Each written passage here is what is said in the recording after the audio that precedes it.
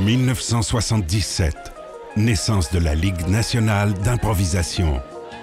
Toujours rêvé d'inventer un jeu théâtral, un peu comme le sport, dont l'issue est inconnue, dont un, véritable happening, on ne sait pas qu'est-ce qui va se passer, et mettre le comédien dans un, un contexte semblable.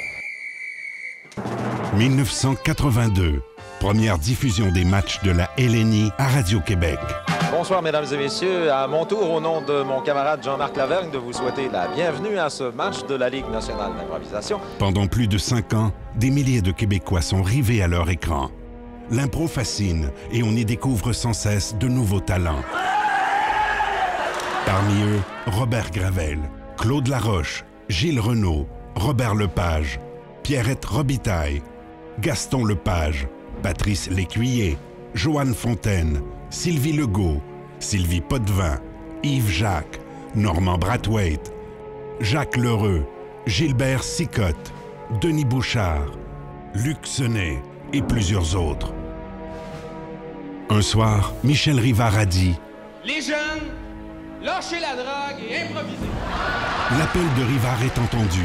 Du moins, les jeunes font de l'improvisation partout au Québec.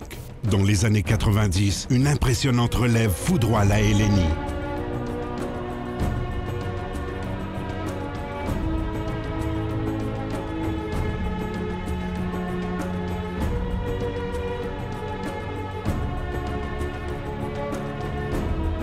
Avec les années 2000, c'est l'entrée en scène de la génération LNI.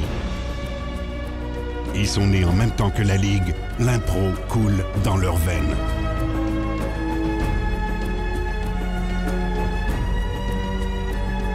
La LNI, c'est 35 ans de dure compétition. Et surtout, 35 ans de champion. «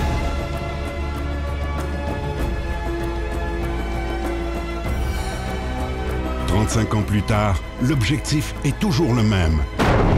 Gagner la Coupe Charade, symbole emblématique de la suprématie mondiale en impro. 2013, cette année encore, cinq équipes extrêmement, bien balancées veulent graver à jamais leur nom sur la Coupe Charade. Des vétérans veulent laisser leur marque avant d'être définitivement mis à la retraite. Et des recrues veulent se tailler une place en convoitant les gros salaires.